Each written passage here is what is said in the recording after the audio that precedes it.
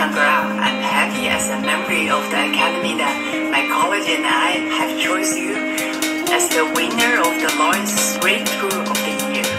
Oh, um, thank you so much, Li Na. It means a lot to to get this message from you. I mean, you've been a huge inspiration to me all of my career, and I remember watching you. So thank you very much. So much to the Laureus Academy for voting.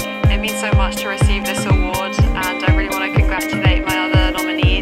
Um, I feel like it's been a really great year for me, but I've still got a lot of work to do. Um, thank you very much.